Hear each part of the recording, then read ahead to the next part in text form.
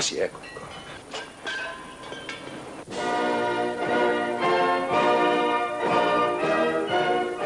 Il ministro della guerra francese, Marshal Lebeuf, aveva dichiarato poco prima della disastrosa guerra franco-prussiana del 1870 che l'esercito francese era perfettamente pronto per l'azione. Anche le altre nazioni, comunque, adesso erano ugualmente determinate a interrompere una volta per tutte la monotonia della pace. L'esercito russo era ben equipaggiato, ma gli mancavano le munizioni. L'esercito più agguerrito era ovviamente quello tedesco, grazie principalmente alla loro industria bellica e al fatto che Dio parlasse unicamente il tedesco e nessun'altra lingua. Gut mit uns, Dio è con noi. Beati loro. La follia imperialista stava raggiungendo il suo apice. Le teste coronate indossavano sgargianti uniformi per presenziare alle manovre dei loro eserciti e scambiarsi fra loro dei regali per i reciproci compleanni o per Natale. Mentre le loro famiglie, che li chiamavano zio Willy, zio George e zio Nicky, si annoiavano nell'atroce monotonia della vita di corte fra le sciarade e le partite a whist ma al di sotto di quella augusta cornice venivano organizzati dei grandi traffici a livello internazionale. C'era una nuova classe di ricchi che voleva emergere, ma anche la povertà e la miseria si moltiplicavano con altrettanto vigore. Nelle fabbriche e nelle miniere milioni di uomini, donne e bambini lavoravano nelle condizioni più abominevoli, mentre gli azionisti si dividevano enormi profitti.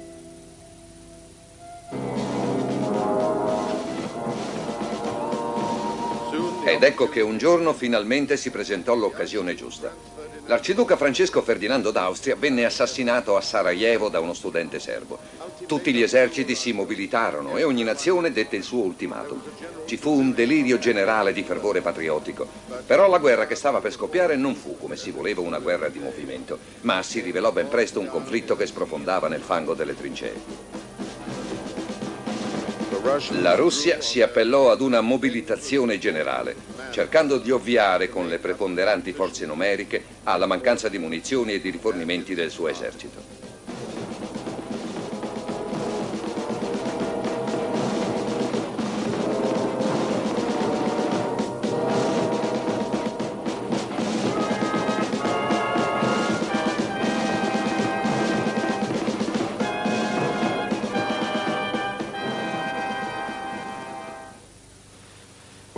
E fu così che iniziò a propagarsi il cancro che aveva corroso la nazione russa. Sin da quando i principi dell'autocrazia si erano dimostrati fuori del tempo. E questo accadde non tanto per gli enormi sacrifici dei russi al fronte, ma soprattutto per la deprecabile stupidità della corte dello zar. Mi riferisco all'influenza della zarina consigliata dall'astuto Rasputin negli affari di Stato. Fu lei a volere le dimissioni del primo ministro Sturmer. E indovinate per quale motivo? Perché aveva un cognome di origine tedesca. Beh, con un cognome del genere non poteva che avere sentimenti filotedeschi. E poi ci fu il caso della mela. Con l'assenso di Rasputin, in un convento venne benedetta una mela da una badessa centenaria. Doveva avere dei poteri magici e se lo zar l'avesse mangiata la Russia avrebbe vinto la guerra. Il diario della zarina era pieno di riferimenti a questa mela miracolosa. Non l'hai ancora mangiata? Oh, caro, perché non lo fai? Dammi retta, mangia quella mela. Finalmente arrivò la notizia tanto attesa. Lo zar aveva ricevuto il magico frutto consegnato personalmente dai cosacchi e l'aveva mangiato devotamente. Ma se la mela nel giardino dell'Eden aveva combinato tanti guai, qui ne fece molti, molti di più. Questi filmati familiari di corte ci mostrano che il morale era molto alto nel fronte interno, anche se purtroppo c'era una certa penuria di raccoglitori di palle, inconveniente questo veramente disdicevole.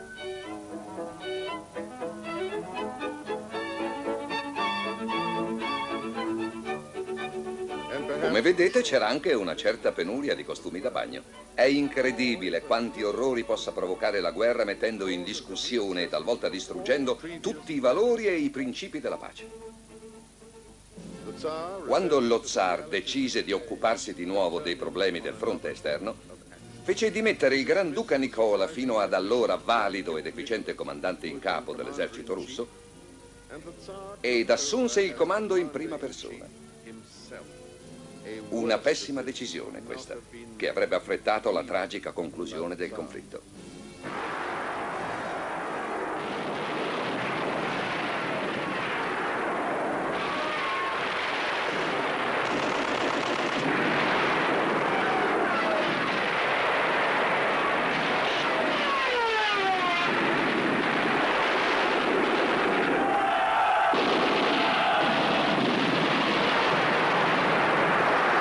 Non ci fu bisogno di sognare un bianco Natale. La neve e il gelo dell'inverno calarono come una coltre sull'esercito, con l'unica consolazione per chi era scampato alla morte che anche il nemico stava gelando. Era troppo freddo per farsi gli auguri e gli uomini potevano solo mangiare e cantare qualche inno natalizio se ci riuscivano.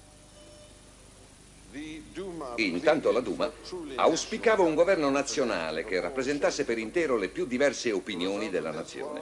Ma il risultato di questa azione fu che quei ministri che favorirono questa iniziativa vennero licenziati. Furono comunque in molti gli amici dello zar che pregarono il piccolo padre di prestare più attenzione a quello che stava accadendo nel paese e lo avvisarono del pericolo di una rivoluzione se non fossero state concesse le riforme promesse.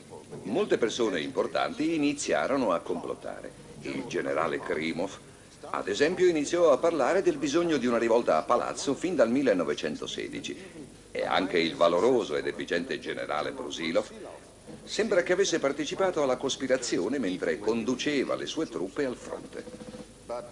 Ma la rivoluzione non poteva attendere la conversione degli altri generali e quindi si cercò altri alleati, come la carestia, la pestilenza e la fame. Quasi tutti i forni vennero saccheggiati. La polizia concentrava i suoi sforzi nel tenere lontana la folla dai centri delle città, ma la massa della popolazione in rivolta si ingigantì, rafforzata dalla presenza degli studenti. E furono quest'ultimi a costruire il nervo della coscienza rivoluzionaria contro l'autocrazia dello zar.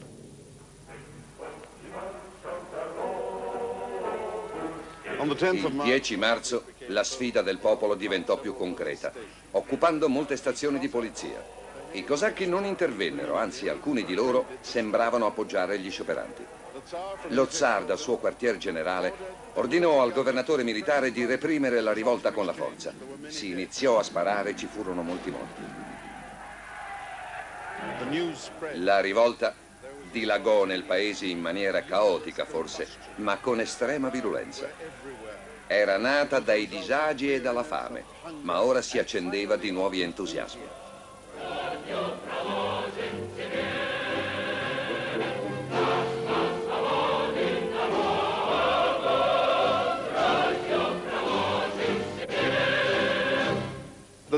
Lo zar fu costretto a inviare truppe dal fronte, truppe che ovviamente non sapevano cosa stava accadendo, ma che dovevano domare la rivolta. Nel frattempo il governo pretendeva di continuare nel suo incarico come se niente fosse accaduto, chiudendosi come un riccio. Prima si spostò nel palazzo d'inverno, poi nella sede dell'ammiragliato e infine i suoi componenti si nascosero nei sotterranei dove vennero poi arrestati uno ad uno.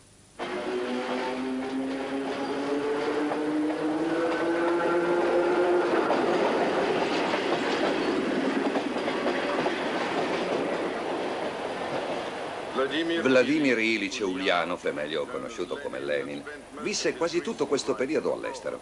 Quando iniziarono le prime rivolte si trovava in Svizzera. Decise di tornare subito in Russia. Pensò di passare attraverso l'Inghilterra, ma la corona inglese sembrava non garantirgli l'uscita. Perciò Lenin decise di rischiare attraversando la Germania. Naturalmente per Lenin la Germania era un territorio nemico, al pari della Francia, dell'Inghilterra e della stessa Russia ma non aveva scelta e proseguì per la via più diretta. Lenin aveva già dichiarato nel novembre del 1914 che questa guerra era solo un conflitto fra stati imperialisti e che ciascuna delle parti in causa aveva i propri torti. Ora però voleva tornare in patria perché la valanga che avrebbe sommerso tutto aveva cominciato a muoversi e lui voleva vedere in che direzione sarebbe andata.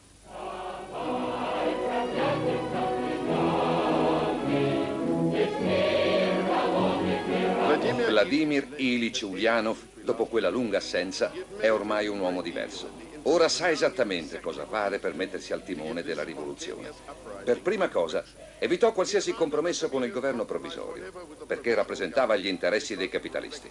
Poi organizzò la formazione dell'armata popolare, che doveva sostituire l'esercito regolare, la polizia e il servizio civile. Tutte le strutture politiche e amministrative dovevano essere concentrate e la terra doveva andare ai contadini e ai lavoratori. Oggi, proprio all'esterno della stazione di Leningrado, allora chiamata Pietrogrado, c'è una statua di Lenin. Davanti a questa statua per anni e anni molti sposi si facevano fotografare dopo le nozze. All'interno della stessa stazione si trova la locomotiva che trainò il vagone con cui Lenin arrivò nella capitale e che ora è protetta da un vetro molto spesso. La celebrazione di questo avvenimento vuol dimostrare che il suo arrivo nell'aprile del 1917 fu un vero trionfo. Ma in effetti non fu così. Lenin fece un discorso alla stazione chiedendo al Soviet di rinnegare qualsiasi rapporto con la borghesia, ma quest'ultima non aveva alcuna intenzione di farsi liquidare così facilmente. Il 5 luglio il governo di Kerensky esibì dei documenti contraffatti per dimostrare che Lenin era stato soltanto una marionetta manovrata dal comando militare germanico. Molta gente credette a questa versione e ancora oggi qualcuno pensa che sia andata proprio così. Purtroppo però nessuno è in grado di dimostrarlo. Dopo che vennero mostrati questi falsi documenti e circa tre mesi dopo l'arrivo di Lenin, la città venne occupata da alcune truppe dell'esercito zarista proveniente dal fronte, con il preciso incarico di sbarazzarsi del Soviet una volta per tutte. Lenin fu costretto a rifugiarsi dapprima nella casa di un operaio e poi a riparare in Finlandia. La violenza con cui vennero repressi i soviet spinse la nascente rivoluzione verso una totale esasperazione estremista e questo era esattamente ciò che aveva previsto Lenin.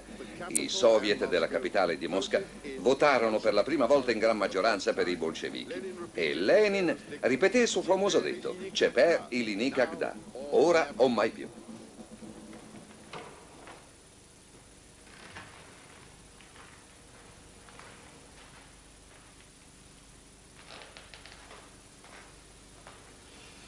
E il 27 di ottobre Lenin riapparve dopo essere rimasto nascosto per ben tre mesi.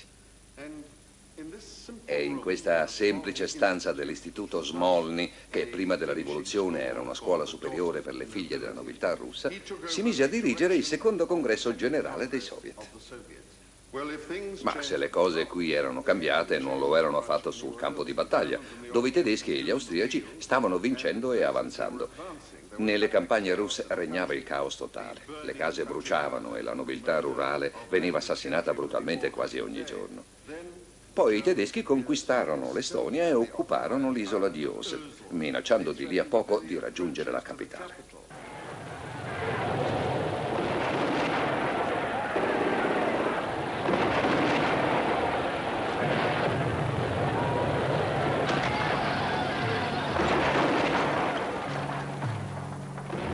Le perdite russe, come al solito, furono enormi. Molti soldati, completamente sforniti di munizioni, attaccavano il nemico con le baionette e le spade. La speranza di sopravvivere era un semplice miraggio. Lenin si rese subito conto che il primo dovere verso il suo paese era quello di cercare la pace, a qualunque costo, anche a condizioni pesanti e umilianti. La Russia non era in condizione di continuare la guerra e comunque questa guerra capitalista e imperialista non riscuoteva la sua approvazione. Ma i suoi alleati non furono d'accordo con questo disimpegno e decisero di intervenire militarmente in Russia. Era ora, pensarono, che questi dilettanti di Mosca avessero una degna lezione. Non si può inventare un impero né pensare di cavarsela rinnegando gli accordi e i trattati internazionali, abbandonando la battaglia nel momento più difficile. Ma chissà, forse pensarono anche che non era giusto che la Russia mancasse di parola verso il sistema bancario internazionale.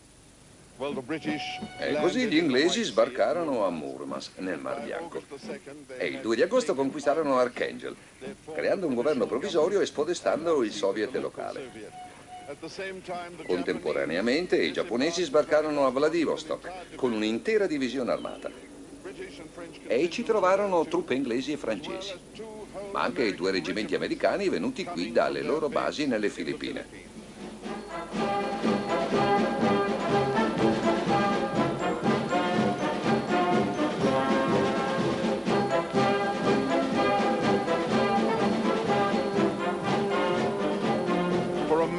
Per circa un mese questi ultimi penetrarono in Siberia incontrando una scarsa resistenza e si appropriarono virtualmente dell'intero territorio.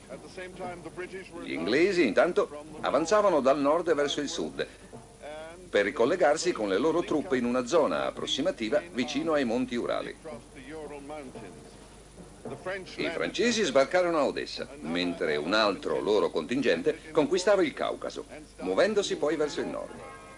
Insomma, la situazione vista da Mosca era terribilmente difficile e complicata. La giovane Armata Rossa attese finché le linee di avanzata alleate non furono pericolosamente vicine. Poi attaccò gli invasori con tutta la potenza di cui disponeva. Lo scontro diventò lungo e difficile e quella che doveva essere una spedizione punitiva fallì miseramente. Gli alleati infatti si ritirarono, negando poi di aver preso parte a questa spedizione. Comunque le nazioni partecipanti ebbero in seguito grossi problemi sociali con scioperi e rivolte operaie. In quel momento così difficile si pensò che la profezia che aveva fatto Lenin su una possibile rivoluzione mondiale stava per realizzarsi. Certo, oggi ci si può chiedere in quale misura questi avvenimenti accaduti più di 70 anni fa abbiano influenzato negativamente gli attuali rapporti politici internazionali, perché è importante ricordare, non cercare di rimuovere dalla nostra coscienza storica, che agli inizi di questo stesso secolo gli inglesi, i francesi, i giapponesi e gli americani, anche i canadesi, tentarono di invadere la Russia in un momento in cui questa si trovava in serie difficoltà, con l'intento di appropriarsi dei suoi vasti territori. Siamo più che convinti che questa azione fosse di dubbia levatura morale, ma si rivelò oltretutto un calcolo sbagliato e il fallimento che ne conseguì, oltre a essere giusto, fu scandaloso. È certo comunque che per anni i bambini sovietici impararono sui libri l'avidità del capitalismo e l'eroismo dell'allora nascente Armata Rossa, mentre la storia scritta da noi cercò di dimenticare questo sfortunato episodio. Ma Lenin doveva sbrogliare molte altre difficoltà, sia in casa che fuori. La Germania, con cui la Russia aveva firmato a Brest-Litovsk il controverso trattato di pace, si trovava ora in serie difficoltà. I polacchi avevano ritrovato la loro indipendenza e gli stati baltici si erano resi liberi da influenze esterne. Ma anche i problemi interni russi non erano certo facili da risolvere. Lenin disse Abbiamo convinto la Russia, l'abbiamo conquistata, ora dobbiamo governarla.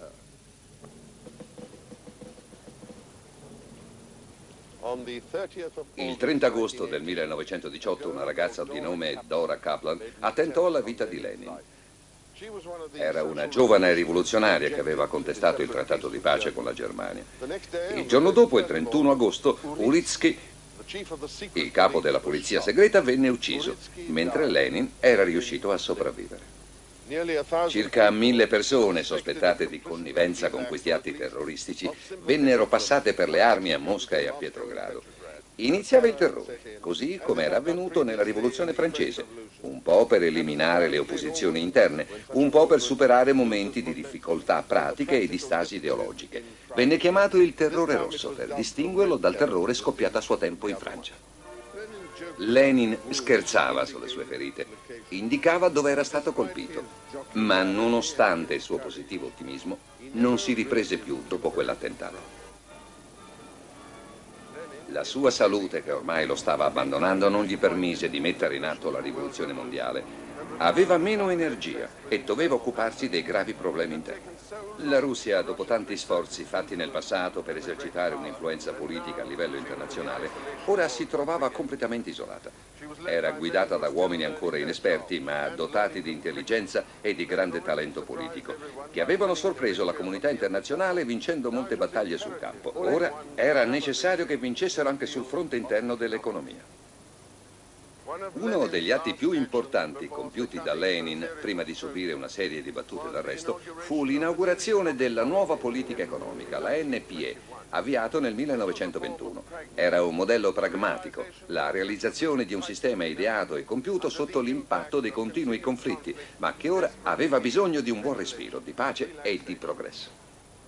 La nuova politica economica prevedeva degli incentivi per gli investimenti esteri, concedendo ai privati un vasto campo d'azione, anche se con molti limiti e controlli. Era previsto anche che la sovrapproduzione di grano non fosse espropriata dal governo, ma che fosse venduta sul libero mercato, che la gente potesse costruire le proprie fabbriche senza alcuna limitazione, potendo anche acquisire terre e forza lavoro con un certo graduale controllo. Per alcuni fanatici comunisti tutto ciò sembrava un'eresia. I progressisti in Russia erano sempre stati boicottati, prima dalla Chiesa, poi dai boiardi e ora anche dagli zeloti del partito. Russia era sempre stata frenata nel suo sviluppo da coloro che credevano che la legge fosse immutabile nei secoli, che non potesse variare secondo le esigenze che potesse dare la vita e la morte, creare o distruggere, ma mai e poi mai far progredire la vita sociale. Come per molti altri uomini, il mito di Lenin risulta più comprensibile oggi di quanto non lo fosse ai suoi tempi, specialmente ai giovani che ne hanno conosciuto l'importanza leggendo la sua biografia nei libri di scuola. Ecco perché una gran folla si allinea sulla Piazza Rossa davanti al mausoleo di Lenin per vedere il suo corpo imbalsamato. Il riconoscimento però delle sue indubbie qualità ormai ha trasceso la realtà ed è diventato leggenda. Ad alcuni può sembrare che la rivoluzione avesse cambiato tutto, altri invece ritengono che avesse cambiato ben poco e che il risultato fosse più o meno quello precedente, cioè l'autocrazia. E ciò forse dipende dalle dimensioni geografiche della Russia. Le piccole nazioni consce e gelose della loro identità hanno un controllo più semplice del territorio. Per i russi non fu così semplice, non avevano riferimenti facili e immediati e pochi contatti con i loro vicini. Quando vollero approfondire i rapporti con l'estero dovettero organizzare enormi ambasciate come quelle create sotto il regno di Ivan il Terribile e di Pietro il Grande. Ambasciate con il tacito incarico di osservare, ascoltare e digerire. Anche prima della morte di Lenin, Stalin puntava alla supremazia nel partito. Stalin era nato in Georgia, in questa piccola casa di due stanze, inserita in una specie di acropoli neoclassica che riflette in un certo senso un vago alone mistico, non privo di valore artistico.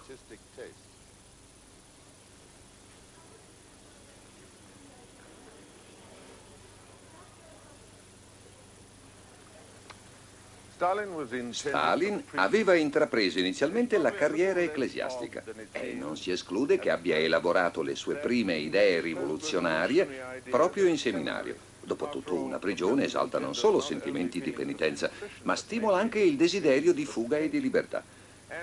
Il suo accedere alle alte cariche del partito dimostra che era possibile per i membri di alcune minoranze dell'Unione Sovietica raggiungere alte posizioni nella gerarchia statale, sempre che naturalmente dimostrassero un certo valore e un certo talento. All'inizio, come membro del triumvirato, Stalin usò il suo potere con discrezione. Poi, esattamente come Napoleone, anche lui era stato inizialmente un triumviro, iniziò la sua scalata. Lo scontro, come sempre d'altronde nella storia della Russia, era fra la teoria e la pratica, fra la rigidità e la flessibilità, fra la programmazione e la realizzazione. E naturalmente dove esiste il dubbio, l'ortodossia di partito tende a vincere. In questo caso l'occasione dello scontro fu dato dal pessimo raccolto del 1926. I contadini si erano talmente arricchiti che il loro nuovo status non era più conforme alla dottrina comunista e la polemica che ne nacque divenne così incandescente che Zinoviev venne espulso dal partito e Kamenev venne degradato ad ambasciatore in Italia. Bene, da quel momento in poi il sospetto si insinuò in molti, ma tutti avevano già capito che le cose sarebbero cambiate.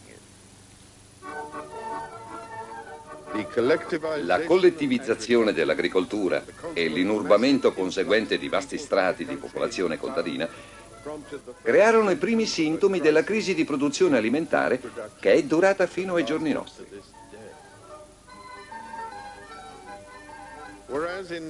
Mentre nel 1924 quasi tutti i contadini erano proprietari dei loro piccoli fondi e delle loro fattorie e solo il 3% dell'agricoltura russa era collettivizzata, nel 1934 queste percentuali cambiano drasticamente, riducendo i proprietari al solo 13,5%. Insomma, la terra e coloro che la lavoravano iniziarono a far parte di un vasto complesso industriale che negava del tutto il rapporto affettivo che da secoli immemorabili legava gli uomini e le donne ai loro luoghi di residenza e di lavoro in campagna. Ma queste crude cifre nascosero realtà ben più squallide e tristi. Espropri. Espulsioni. Per non parlare delle fucilazioni.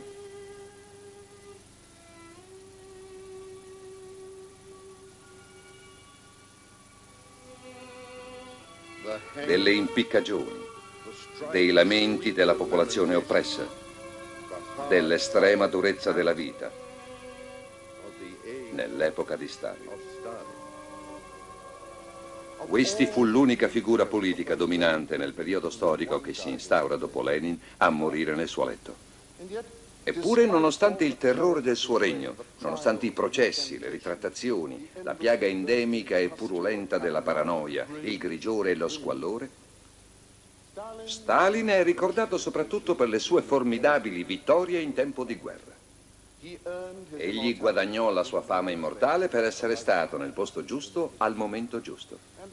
E alla stregua di molti altri protagonisti della storia, repellenti eppure pieni di fascino, è rimasto nella memoria collettiva del suo popolo per la tenacia sovrumana del suo carattere che permise alla Russia di sopravvivere e di trionfare sulle terribili avversità del secondo conflitto mondiale. Ed ecco una curiosità della storia.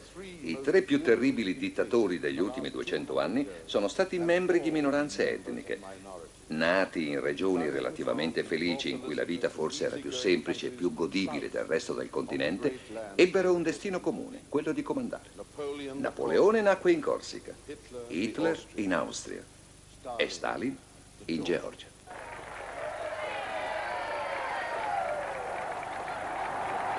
Il 23 agosto del 1939 la Russia bolscevica firmò un patto decennale di non aggressione con il suo mortale nemico, la Germania nazista. Nonostante la reazione negativa a questo accordo, abbastanza ipocrita d'altronde perché solo un anno prima lo stesso Occidente aveva abbandonato al suo tragico destino la Cecoslovacchia annessa dai nazisti, questo trattato ebbe un effetto simile a quello stipulato da Napoleone con Alessandro I nel 1812. Dopo due anni, infatti, nel 1941, la Germania invase la Russia, catturando un milione di prigionieri e spingendosi fino alle porte di Mosca e di Leningrado.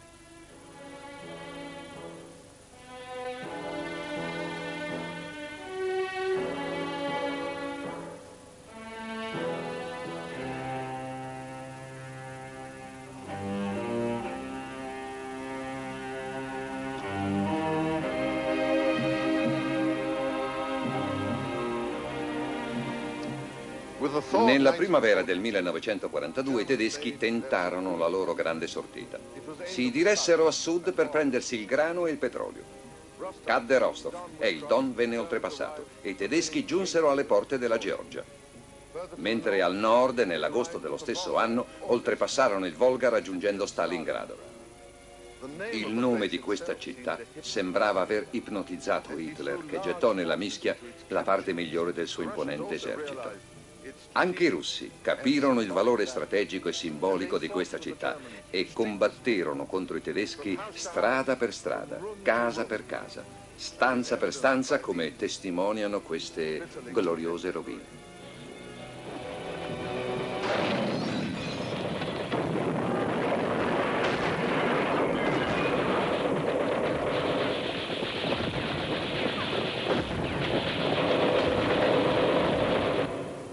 La battaglia durò più di sei mesi e fu il confronto militare più duro di tutto il secondo conflitto mondiale. Hitler sembrava un giocatore di roulette impazzito che puntava tutto il suo capitale bellico su un numero che non usciva mai, mentre i russi, comandati dal generale Zhukov, resistevano a oltranza. Poi ci fu l'intervento risolutivo del generale Inverno. La neve copre con la sua bianca coltre la città insanguinata, ma l'inverno non promette nessuna tregua ai due eserciti in lotta. I tedeschi intensificano i loro sforzi illudendosi di una vittoria finale. I russi invece temporeggiano finché possono, tentando di rifornirsi di armi e di munizioni. Il risultato è che il massacro aumenta. I soldati cadono come mosche da una parte e dall'altra. Poi, il 19 novembre, i russi scatenano una potente controffensiva, lanciando sui tedeschi l'inferno della loro artiglieria e dei loro razzi Katyusha. Dopo quattro giorni di durissimi bombardamenti, le due armate russe, quella del generale Zhukov e quella del generale Cistiakov, si muovono a tenaglia e si ricongiungono alle spalle della sesta armata tedesca, tagliandola fuori e isolandola dalle divisioni che la fiancheggiano.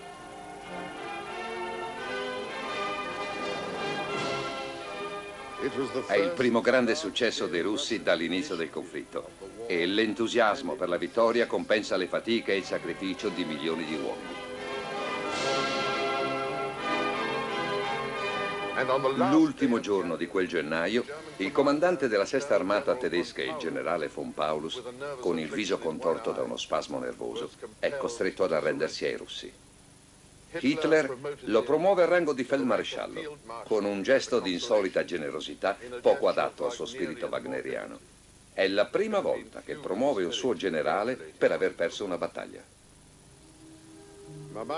La collina di Mamayev a Stalingrado, che ora si chiama Volgograd. La grande statua della vittoria sta ancora al suo posto e il movimento continuo delle nuvole sullo sfondo sembra quasi animarla. Qualcuno potrebbe pensare che è esageratamente retorica, ma può essere considerato retorico il sacrificio di tutti quei soldati che resero possibile questa grandiosa vittoria. La fiamma sul tripode brucia in memoria di coloro che offrirono la loro vita per la salvezza della terra russa e la lunga e solenne fila dei visitatori testimonia l'eterna gratitudine della nazione per quegli uomini valorosi.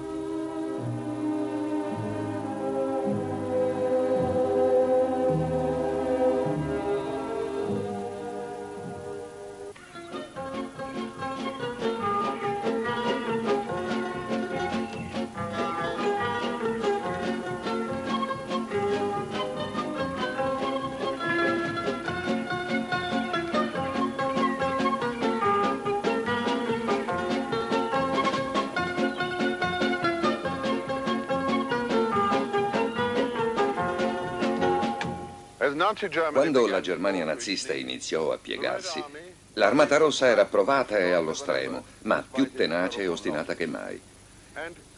Venne indetta una prima conferenza internazionale a Teheran e più tardi, nel 1945, a Yalta, per risolvere il problema del vuoto che si era creato nell'Europa centrale per la caduta del Terzo Reich. Questo è il Palazzo Livadia, residenza estiva degli zar dove ebbe luogo l'incontro. Roosevelt, sconsigliato dai suoi medici a viaggiare, arrivò in aereo da Malta. E Churchill fece altrettanto. Stalin, invece, che non amava volare, giunse in treno da Mosca.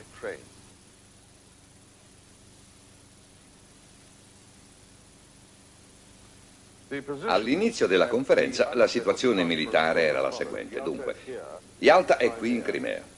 L'armata rossa aveva già occupato la Romania e la Bulgaria, stava quasi per occupare interamente l'Ungheria e la Polonia. Era entrata in Cecoslovacchia e aveva occupato quasi la metà della Jugoslavia. Dall'altra parte gli americani e i loro alleati spingevano verso est, ma erano stati fermati dal deciso contrattacco tedesco qui nelle Ardennes, in una battaglia molto violenta. Oramai I russi erano solo a 60 km a est di Berlino, mentre gli alleati si trovavano a 500 km a ovest. Gli inglesi tentarono di intercedere a favore dei polacchi, il cui governo in esilio si trovava a Londra, ma fallirono. Non avevano un forte potere contrattuale nei confronti dei russi. Comunque riuscirono a imporre i francesi nella successiva divisione amministrativa alleata della Germania e in altre istituzioni internazionali. Anche i russi volevano qualcosa, e cioè avere mano libera in Grecia e in Turchia, ma la Gran Bretagna si oppose fermamente. È troppo facile oggi definire l'accordo di Yalta come un avvenimento negativo per l'Europa e affermare che la malattia di Roosevelt, ormai allo stato terminale, avesse indebolito lo schieramento occidentale. Bene, queste facili critiche sono il risultato di un atteggiamento a dir poco miope. La guerra contro il Giappone era ancora in atto e non vi era alcuna certezza che la bomba atomica avrebbe funzionato come pietra tombale di questo conflitto. Poteva risultare solo un blef, come i famosi razzi su cui lavoravano gli scienziati di Hitler o i primi motori jet. Il quartier generale alleato aveva stimato che, miracoli a parte, ci sarebbero voluti almeno 18 mesi per sconfiggere il Giappone, con il costo probabile di un milione di vite americane e naturalmente dei loro alleati. Avevano quindi assoluto bisogno dell'aiuto di Stalin per concludere la guerra in Asia. Stalin invece non aveva bisogno di nessuno, ma accettò. Accettò sì di spalleggiare gli americani, ma solo tre mesi dopo la fine delle ostilità in Europa. E mantenne la parola. Ma ovviamente non ebbe alcuna importanza perché accadde quel miracolo atomico di cui oggi tutti conoscono le catastrofiche conseguenze. Questo è il tavolo su cui vennero messi appunto gli ultimi dettagli. Churchill era là, Roosevelt sedeva lì e Stalin era qui.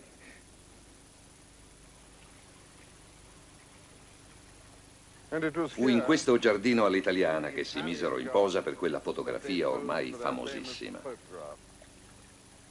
Churchill sorrideva, Stalin sorrideva un po' meno e Roosevelt non sorrideva affatto. Ma questo non dipendeva dal suo cattivo stato di salute. Ricordiamoci che Roosevelt aveva una forte carica ideale e fu qui a Yalta che si raggiunse un accordo sullo statuto dell'Organizzazione delle Nazioni Unite.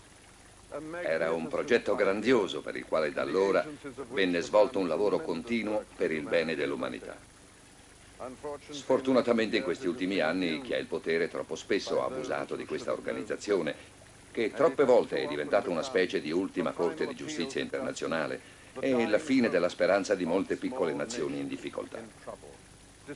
Nonostante gli alti ideali proclamati, la politica è purtroppo rimasta ancorata all'era nucleare, con la logica ferrea della forza e dei superarmamenti. Esattamente come in tempi remoti vigeva la legge della spada.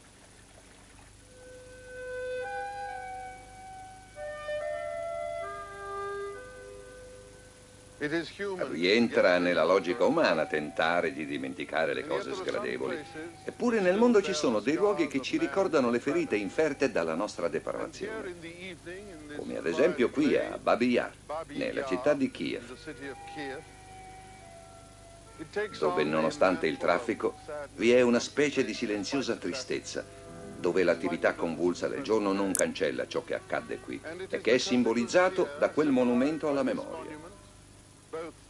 In questo luogo ora triste e desolato furono assassinati un numero imprecisato di ebrei e di prigionieri di guerra da parte dei nazisti. La cifra esatta non si conosce, ma viene stimata fra le 150 e le 250 mila persone. Vennero derubati di tutto, anche dell'oro dei propri denti. Oro che andò a formare chissà quanti lingotti e che deve essere addebitato sul conto che i nazisti dovranno continuare a pagare all'umanità. Si giri pure questa triste pagina di storia, ma mai, neanche per un secondo, dovrà essere dimenticata. Nessuno di noi può essere sicuro di sopravvivere alla morte, ma il poeta russo Yevtushenko, nella sua poesia dedicata a Babi Yar, sostiene che esiste l'immortalità.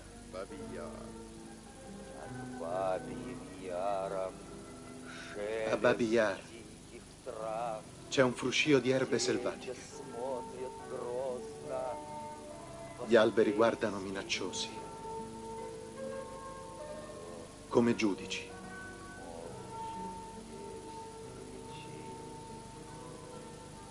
È tutto un grido muto. E io a capo scoperto sento che i miei capelli sbiancano pian piano.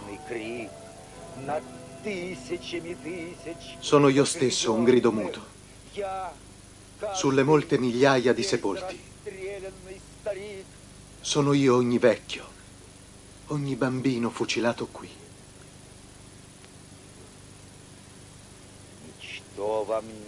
E non potrò dimenticare tutto questo. E cheggi l'internazionale, quando sarà seppellito per sempre, l'ultimo antisemita della terra.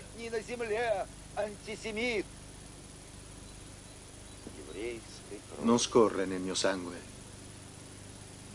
Sangue ebraico, ma sono odiato.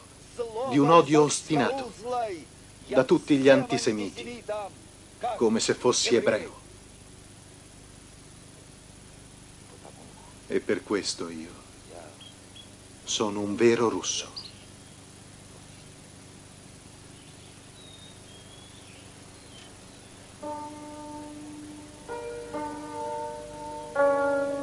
Questo è il cimitero di Piskarevsky, nei dintorni di Leningrado, dove è sepolta una moltitudine infinita di persone senza nome e senza più memoria, le vittime dell'invasione nazista.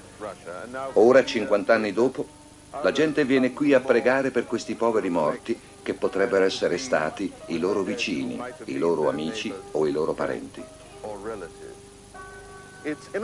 Quando mi trovo in posti come questo, io mi rendo conto che personalmente non ho alcun timore della Russia, perché alla luce del suo passato questo paese ha subito solo minacce e aggressioni da parte delle nazioni confinanti e quindi è più che comprensibile la sua naturale diffidenza verso l'esterno e la tendenza a chiudersi e a difendersi.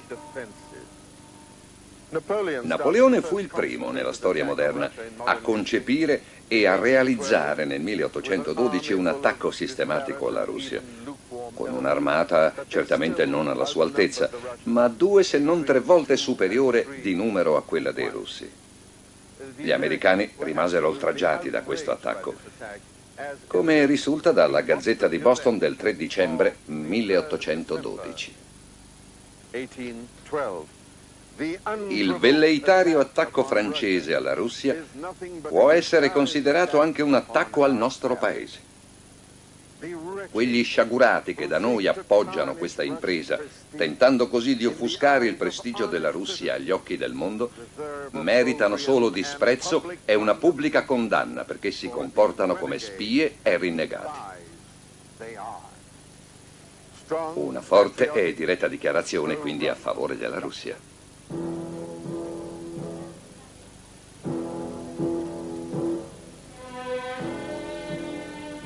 Ma l'invasione di Napoleone era destinata a fallire miseramente. Però 42 anni dopo ci fu un'altra invasione alleata, questa volta in Crimea, senza alcuna dichiarazione di guerra. Fu un casus belli. 60 anni dopo ci fu la Grande Guerra. La Russia la concluse dovendosi sempre difendere, nonostante che nel 1917, con il trattato di Brest-Litovsk, fosse stata firmata la pace fra la Germania e il nuovo governo sovietico. Il risultato fu una spedizione punitiva degli alleati che tentarono di conquistare il circolo artico, la Siberia, il Caucaso e l'Ucraina già occupata dai tedeschi. Dopo solo 24 anni, ecco di nuovo la Germania nazista che invade l'Unione Sovietica. Ci furono ben 22 milioni di caduti dalla parte russa. Insomma, nella storia moderna la Russia venne invasa dai francesi, dai tedeschi, dagli inglesi, dai polacchi, dai danesi, dagli svedesi, dagli italiani, dai rumeni, dagli ungheresi, dagli svizzeri, dai turchi, dai giapponesi, dagli americani, dai canadesi e dai cecoslovacchi. E oggi c'è ancora molta gente che pensa che la Russia stia preparando la conquista del mondo, come se non fosse contenta di quello che ha, non dovendo poi temere nulla dall'Occidente. Ma non hanno forse detto chi vuole conquistare il mondo è un pazzo e merita la sua rovina.